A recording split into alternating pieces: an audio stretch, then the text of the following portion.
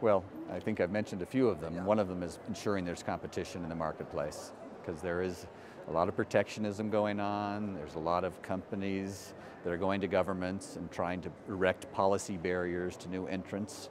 So that's something we have to fight against. I mean, we, we, we just can't block the future to preserve past business models.